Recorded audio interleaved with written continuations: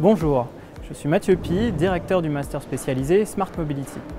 Le master spécialisé Smart Mobility a été créé en 2017 et co-accrédité par l'école des ponts Paris Tech et Télécom Paris.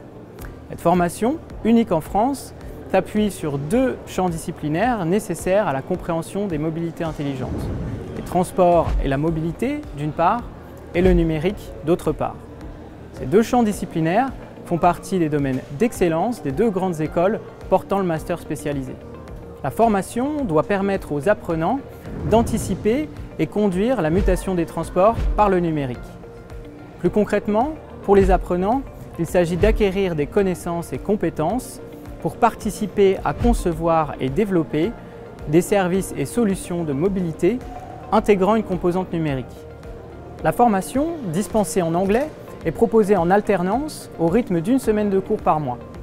Elle est composée de 11 semaines de cours, de septembre à juillet, et de juillet à décembre, les apprenants seront engagés dans la rédaction d'une thèse professionnelle qu'ils soutiennent en fin de cycle.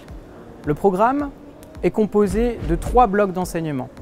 Un premier bloc, s'apparentant à une contextualisation générale, présente l'évolution de l'écosystème des mobilités, l'émergence des nouveaux acteurs, présente les grands enjeux du secteur, mais aborde aussi les éléments réglementaires associés au développement du numérique dans les transports.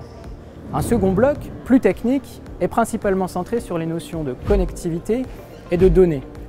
Connectivité des infrastructures, des véhicules et fondamentaux des systèmes d'information pour la mobilité.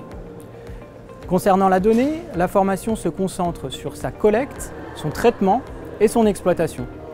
Les apprenants ont alors l'occasion de se confronter au big data, aux modèles d'intelligence artificielle et appréhendent le deep learning. Le troisième bloc est lui spécifique au concept de masse, Mobility as a Service ou mobilité servicielle en français. Il explore le contexte sous toutes ses facettes, de l'expérience utilisateur jusqu'à la présentation des architectures fonctionnelles de ce type d'outils. La formation se veut au plus près du monde professionnel. C'est pourquoi les deux tiers des intervenants sont extérieurs au corps enseignant des deux écoles. C'est une opportunité privilégiée pour les apprenants d'être en contact direct avec leurs futurs employeurs. C'est aussi ce qui conduit à la forte reconnaissance du master spécialisé dans le secteur public comme dans le secteur privé. Six mois après leur diplomation, près de 95% des diplômés sont en poste. Le diplôme est certifié par la Conférence des grandes écoles et labellisé par la communauté France Mobilité. Concernant les prérequis, le master spécialisé est ouvert aux titulaires d'un bac plus 5, mais l'est aussi pour les titulaires d'un bac plus 4 disposant d'au moins 3 années d'expérience professionnelle. Pour ceux qui souhaiteraient rejoindre cette formation, il est important de noter que des connaissances générales sont nécessaires dans le domaine du numérique.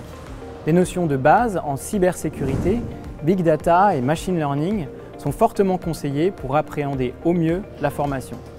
Enfin, une des richesses du master spécialisé, au-delà de la qualité du programme de formation, est la grande diversité des parcours et des profils qui composent les promotions.